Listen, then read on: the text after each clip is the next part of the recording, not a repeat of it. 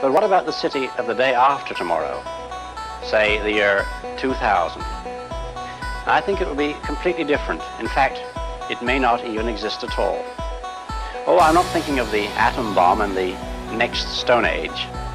I'm thinking of the incredible breakthrough which has been made possible by developments in communications, particularly the transistor and, above all, the communications satellite.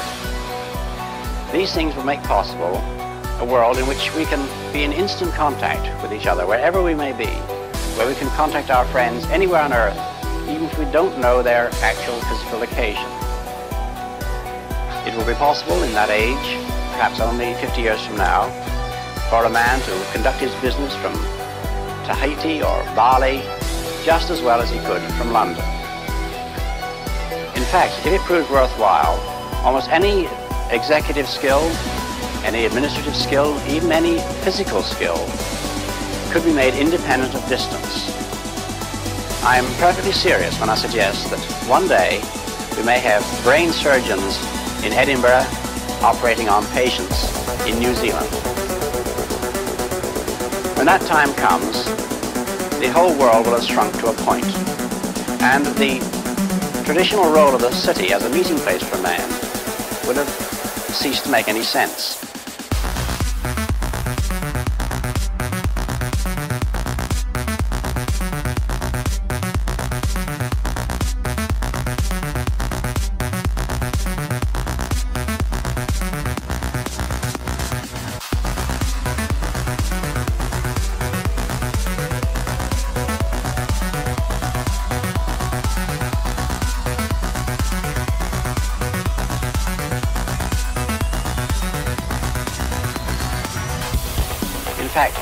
Men will no longer commute.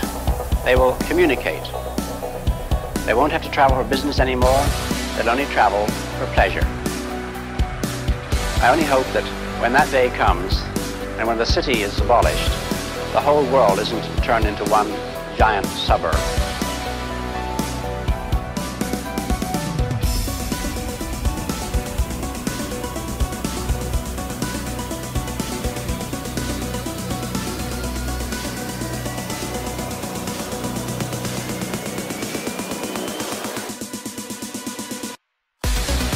Trying to predict the future is a discouraging hazardous occupation because the prophet invariably falls between two stools.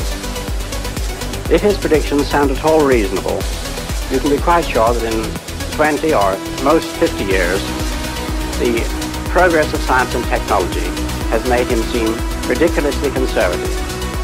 On the other hand, if by some miracle a prophet could describe the future exactly as it was going to take place his predictions would sound so absurd, so far-fetched, that everybody would laugh him to scorn.